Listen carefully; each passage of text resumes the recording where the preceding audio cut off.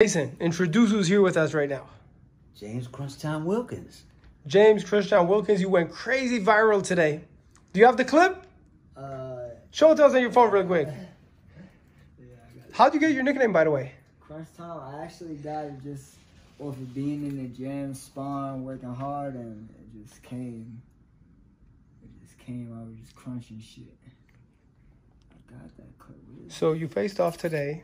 Your opponent, what's his name? Brian Chevalier. He put his head on you.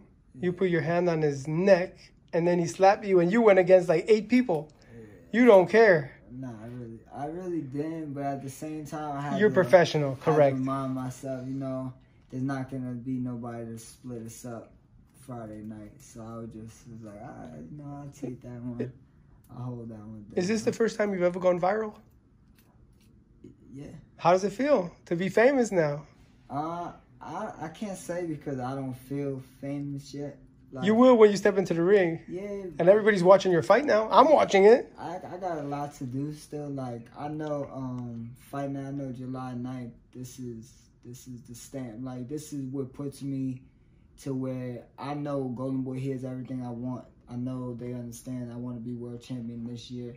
So they put me in these positions to do that. And I know that I'm not seeing that and overlooking it. I know everything I gotta do. Let me see that really quick. You know you face off him with him again tomorrow, right? Yeah. And what's gonna happen? Okay, so this is today. Describe what are we looking at? We need to play by play. Alright, so right here, he just, like I felt his nose touch my nose, and I just grabbed his throat, like back your little ass up. And after I did that, That's I Miguel Cotto's guy. do it for these yeah, I told gentlemen Cotto. Cotto can't fight for him. So I told If the fight too. doesn't happen, you do not get paid. So chill out, James. That, that right there is what made That- me okay. like, alright, bet, let me let me chill. Smart, smart. Good thing you chilled Fine, because fine. it is, it is entertainment, and you have to sell a fight. But that's the, is that the most heated face off you ever had? It.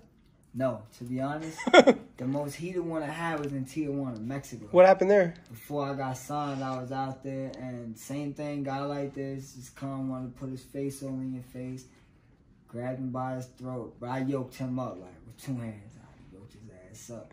And everybody just started going crazy, but that didn't go viral, of course. Cause But- we but look, Tomorrow you're facing off with him.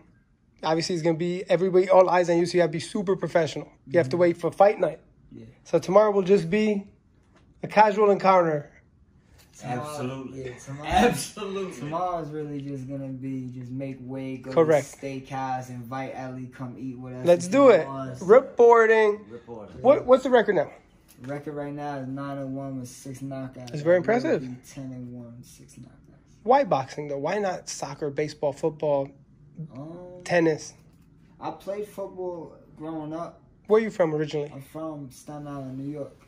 So I played football growing up, but it's just I don't know. It's just boxing found me. I never wanted to box. I never thought about boxing. It wasn't something that I just wanted to do.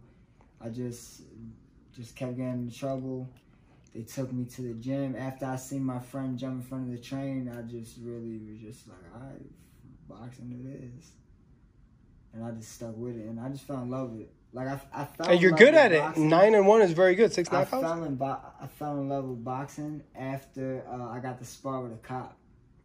I sparred with a cop, and I was like, I can hit him, get away with it, not getting in trouble. They were like, yeah, It's the only time you whooped a cop and you okay with it. whipped his ass, got away with it. Tell us about him as a fighter. Obviously, you manage good fighters. You wouldn't manage him if you didn't believe in him, right, Jason? Tell us about him. I mean, I think Crunch time. What I tell everyone all, all the time is, you know, he's getting better. He's growing every single fight. The biggest thing is his work ethic. I don't know if I don't know of a fighter, honestly, that's in the gym consistently, day in, day out. Canelo, Mayweather, Pacquiao, and crunch time. And crunch time. You love to train. That's all you do is train, train. You eat, sleep, and drink boxing. Eat, sleep, and breathe. Let me tell you something. Tell you a secret. You have to that- make him come out. I'm the gonna tell you a secret. Look, I'm gonna tell you guys a secret that not even my manager knew. I, when I got signed with Golden Boy, I got my own apartment, everything in Dallas now. Like I live good in Dallas. I got a beautiful apartment, I got a car, everything. I I needed a trainer, so I'm looking around coaches, but I want somebody like that's there. Like Roy Jones Jr. is still one of my coaches and mentors, but you know everybody knows Roy Jones Jr. travels a lot, got to do his thing. So I needed a coach that's there 24 7. So I, I seen Coach Mustafa. I'm like, damn, I go to Atlanta, I got nowhere to stay. Can't get an, another place. I already got rent over here. I'm not rich yet. I'm paying rent over here, car notes over here. Call Coach Mustafa. I see, yo, I say, you know, work with me. I need a coach. I'm He's a great coach, by the way. Great coach Yeah, I'm trying to get a fight from Atlanta. Yep. soon because I just came off this injury. I said, but I need to fight. He said, all right, come to the gym. I came to the gym, asked coach. I put an air mattress in the middle of the ring. I can show you a picture right now. I put an air mattress Let me see in it. the middle of the ring. He was sleeping in the gym. Look, Yeah, I, I, That's found, I found this out after. That's fact. dedication, but that means he was serious. He was committed yeah. because you don't have a choice to work hard in that situation. I, I slept in the gym for like a month and a half, and I just got my apartment in Atlanta now. So now. So got- okay, technical questions. Where do you shower? How do you eat? Where, do you have privacy? Like, do you Uh, so look in the between gym, midnight to six a.m.? in the gym, what we do is Yeah. like we would go to LA Fitness and shower, Got it. and then go back like to the gym. And how do you eat? Sleep. There's no kitchen. Nah, Survive. yeah, but I mean, don't get me wrong. I mean, I'm signed to Golden now. The problem wasn't I didn't have an apartment. The problem, like, I couldn't pay for it. That wasn't the problem. I understand. The problem was I couldn't get one right then and there. Right, right, right. No, you do, but you're smart. You did what you had to do to get to the end result, Yeah, which so is now it where you're. took me a month and a half. I got my own apartment. Let's see it. Car. Boom. That's the mattress in the ring, air mattress, and you blow it up every day. That's me right there. Yeah, that's me right there by the radio in the morning. That's cool. Well, hey, it's a great. Listen, when you make when you win some championships and they make movies about you, you'll be in a movie. You'll be like Eminem in Eight Mile. But I'll be better than him, Can I show people your trunks really quick? of course. No, I don't gotta ask. Check this out. It's fresh, fly, and flashy, as Adrian Broner would say. Why'd you get this like that? It's really cool. Tell me Oh. about it. So I like I like blue and gold. Uh huh. Like blue and gold. That's the that's the upstate New York thing, blue and gold. Uh, I, I don't know if it's upstate. No. New York thing, but I, I like it. Yeah, it's cool. It looks good. And then the And then like, uh, so you can swipe it. that's dope. How'd you come up with that? To be honest, the guy that So- did my outfit, Body Kit guy, he he designed it. Really, me, I just like the fur. I put fur on all my outfits, so I did that. And then he came through with the, uh, I think this sequence or something. I don't know how to I've never it. seen anything like that. So their announcer is gonna say he's in a purple trunks. No, he's in a gold trunks. Yeah. Right. Um, what do you tell your opponent if he's watching? I mean, it was very heated exchange today. You put a hand in his choke. He slapped you. Uh, you just gotta wait till July 9th. Like I don't, I'm I'm at the point in my career where like it's like, if if I can't do something to you right there in the moment, I don't even want to speak about it. Save it for the fight. You're a professional I- fighter. I'd rather just. You're not fighting for free. You're you're pay, you're fighting for a what I purse. gotta do, and after I do what I have to do, July 9th is gonna be. It, it's gonna be. It's gonna be big. It's gonna be so many door openers. The whole 126 pound division. Is Who would you want to fight? Leo Santa Cruz coming back at 26, but who would be your biggest fight right now? Who would you want?